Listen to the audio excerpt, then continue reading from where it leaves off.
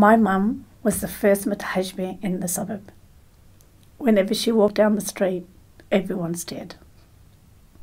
She was on show all the time.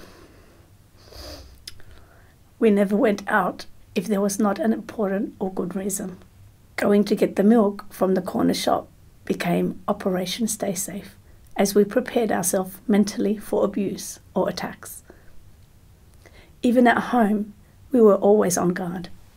I remember my mother and I hanging washing out when rocks and bricks started flying over our fence.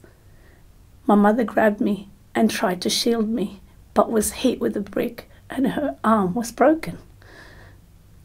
My mum is the strongest person in the world. She survived losing the baby boy she had been praying for when a young youth riding his bike kicked her in the stomach. The nurses left her dead baby boy next to her bed for hours before they remembered to remove him. She believed having a boy might help to protect her six girls. As a child, I had to witness things like my five year old sister being forced to walk in the mud by a gang of bullies. My father getting into so many fights defending our rights to be Muslims in the suburbs. One time, I watched my father being attacked by eight young men and women. I saw one of the girls jump on his back and started pulling his hair out. Seeing that made me very, very angry.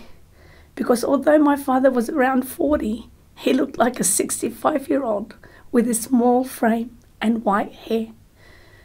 How can they attack an old man? My instincts was to go out there and defend my father. All I could think of in my 13 year old mind was I have to help my dad.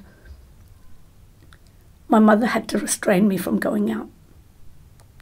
When the police finally arrived, instead of asking our attackers, they questioned the old white haired man. What did you do to them? It wasn't that my parents had a choice. They left a war zone to live in peace. We thought when we got to Australia we had escaped conflict, never expecting a war in the suburbs. My father felt a lot of guilt.